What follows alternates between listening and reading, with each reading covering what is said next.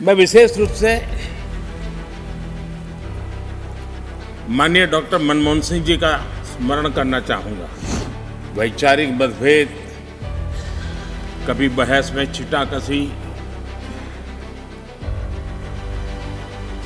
वो तो बहुत अल्पकालीन होता है। जब भी हमारे लोकतंत्र की चर्चा होगी तो कुछ माननीय सदस्यों की जो चर्चा होगी, उसमें माननीय डॉक्टर मनमोहन सिंह की योगदान की चर्चा ज़रूर doctor Manmohan Singh ji wheel chair में आए, वोट किया। एक सांसद अपने दायित्व के लिए कितना सजग है, उसका वो उदाहरण। है सवाल ये नहीं है कि वो किसको ताकत देने के लिए आए थे। मैं मानता हूँ, वो लोकतंत्र को ताकत देने आए थे। मैं विशेष रूप से माननीय डॉक्टर मनमोहन सिंह जी का स्मरण करना चाहूँगा। छह बार इस सदन में वो अपने मूल्यवान विचारों से और नेता के रूप में भी और प्रतिपक्ष में भी नेता के रूप उनका बहुत बड़ा योगदान रहा है। वैचारिक मतभेद, कभी बहस में छिटाकसी, वो तो बहुत अल्पकालीन होता है। लेकिन इतने लंबे अरसे तक जिस प्रकार से उन्होंने इस सदन का मार्गदर्शन किया है, देश का मार्गदर्शन किया है, वो हमेशा हमेशा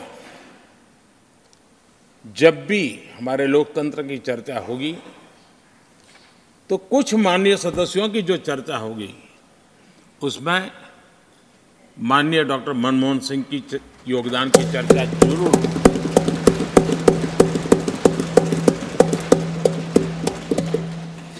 और मैं सभी सांसदों से, चाहे इस सदन में हो या उस सदन में हो,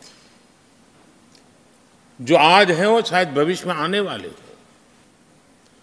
मैं उनसे ज़रूर कहूँगा कि ये जो माननीय सांसद होते हैं, किसी भी दल के क्यों न हो, लेकिन जिस प्रकार से उन्होंने अपने जीवन को कंडक्ट किया होता है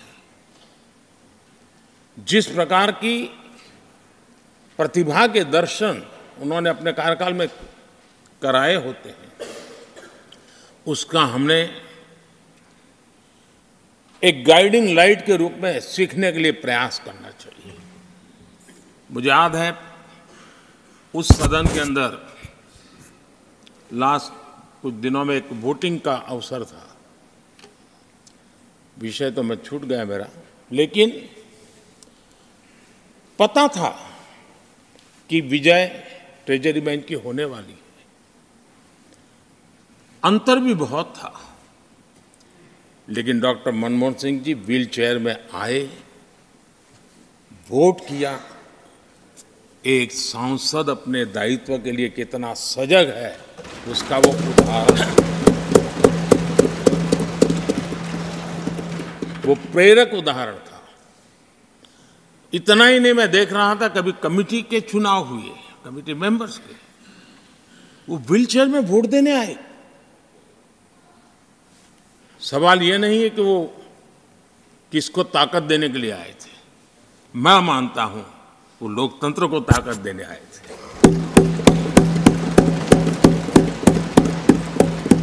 और इसलिए